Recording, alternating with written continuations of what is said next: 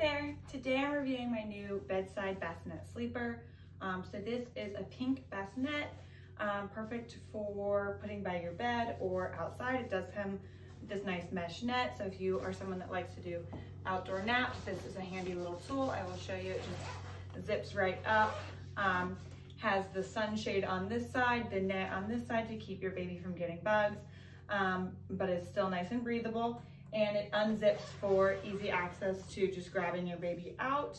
Um, or if you're just gonna keep this by your bedside, it easily just pops right off. Um, this bedside sleeper does come with the mattress attachment. It is a soft um, interior mattress. This does come off so it is washable. Um, and then the exterior as well uh, does remove so that you can easily wash. I'm not sure where the there's a zipper all the way around, there we go. Here, so you can easily take this off and throw it in the wash if it were to get dirty, but the liner is a nice soft, um, slick, so it's easily to wash off. Um, it does raise and lower, so if you're feeding your baby from your bedside, um, and you want to raise it up so it gets a nice tilt, uh, you can do so, making sure that I have, there we go. Now it's nice and flat um, but you can tilt on either side. So if you are, again, feeding your baby, you can kind of tilt it up from your bedside, feed them with the bottle, and then tilt it back down. Um, the nice thing is that it does have um, this little undercarriage. Um, now I'm nice and low right now, so you, it's not hanging super well.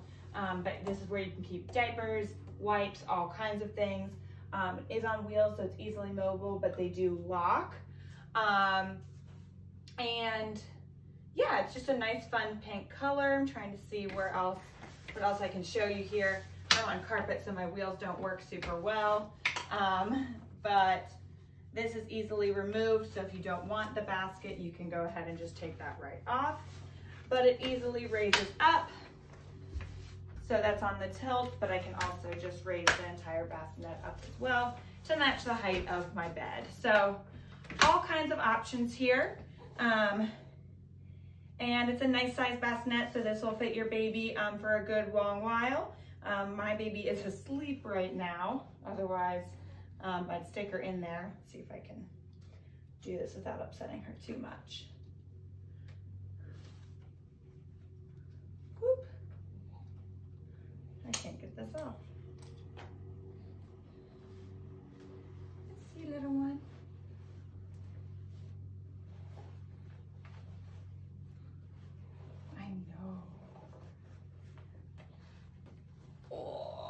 Big stretch. There we go. So you can see she lays down in there nicely. You can see her through the mesh so that you know um, it's nice and breathable. She fits in there really nicely and she's gonna go ahead and take a nice little nap.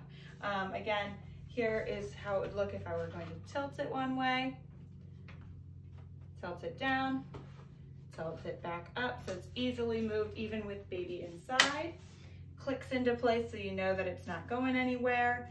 Um, and if I wanted to, you know, feed her, um, she'd be at a nice angle and then I would just tilt it right back up for her to finish sleeping um, for the rest of the night. Make sure it's clicked into place and we're good to go. So this is my review of this bassinet. Thanks.